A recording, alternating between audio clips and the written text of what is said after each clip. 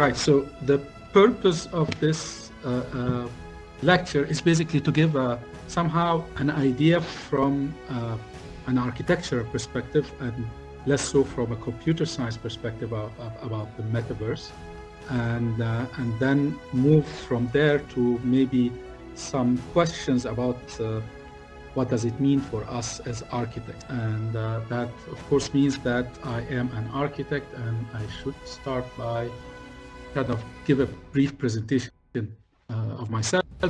I'm pretty much a gamer. I think that's kind of uh, my uh, first identifier in a sense. I identify myself as a gamer. Uh, and I started with Commodore 64. Kind of gives an idea about my age.